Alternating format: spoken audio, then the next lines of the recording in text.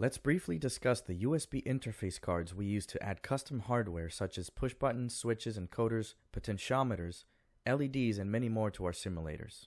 I will show you affordable and very reliable products which can be easily installed, so please make sure to like, subscribe, and share so that others may benefit from the video.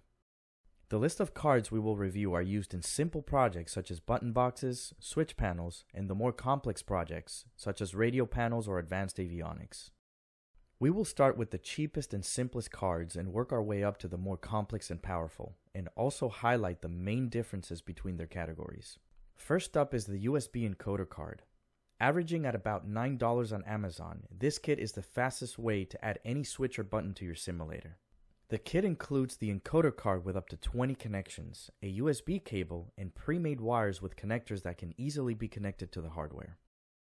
It is completely plug and play and requires no drivers for Windows. The card will be detected as a game controller and any switch button or other hardware can be assigned a function in the simulator. Here is a sample setup with two toggle switches I purchased at Walmart. I had this set up and running in just a few minutes. The next cards come from Desktop Aviator and are a bit more powerful but also plug and play. They allow you to add many types of devices, but the list extends from buttons or switches to also include potentiometers and rotary encoders, which can be used in the simulator for throttles, trimming, a joystick, or radio controls. They range from the mid 30s to the $50 range, and because of their large selection, please make sure you read the description of the product before purchasing. Next is one of my favorites, Leo Bodnar cards.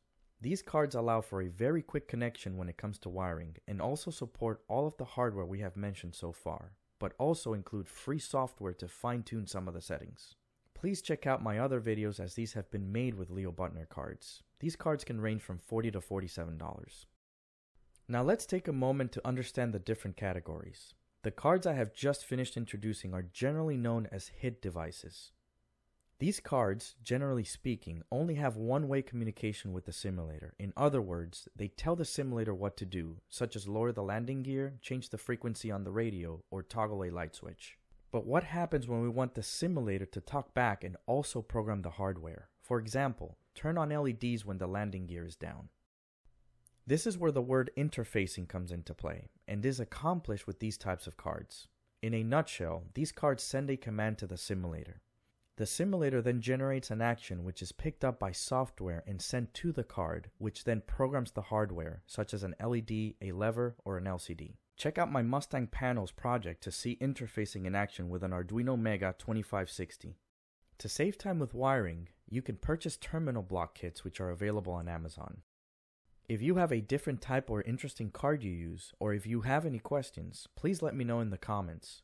Also make sure to like, subscribe, and share the video. Thanks for watching.